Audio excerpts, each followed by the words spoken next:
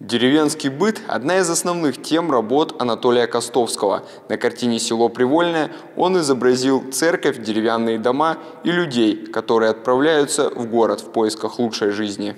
А кто-то покидал деревни, которые затопило из-за строительства новых ГЭС. Множество таких историй изобразил в своих работах Анатолий Костовский. До конца жизни он оставался верным реализму. Работал в узнаваемой манере с неповторимым почерком. В его творчестве огромную роль играет не только Сибирь, но и Монголия. К 95-летию со дня рождения Костовского в художественном музее собрали лучшие работы живописца. Это портреты, пейзажи, натюрморты. Некоторые из них посетители увидят впервые. Анатолий Георгиевич в первую очередь Э, выдающийся живописец, но на этой выставке представлено и несколько его рисунков.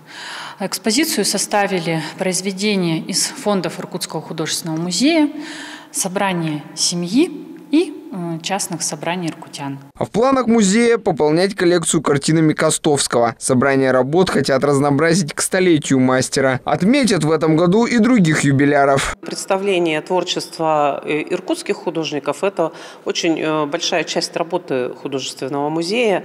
И не только живущих, ныне живущих художников-юбиляров, а таких выставок на этот год запланировано очень много. Будет выставка персональная и Сергея Ивановича Казанцева, заслуженного художника, художника-педагога художественного училища. Будет выставка Володи Максимова, Татьяны Колобовой. Э, Катерины Асалхановой и очень-очень много э, других юбиляров. Выставка «Чувство Родины» будет работать до 2 апреля в главном здании Иркутского художественного музея. Кроме того, совсем скоро в честь Анатолия Костовского представят специальный юбилейный каталог. Александр Гаврилов, Юрий Рябчиков. Новости сейчас.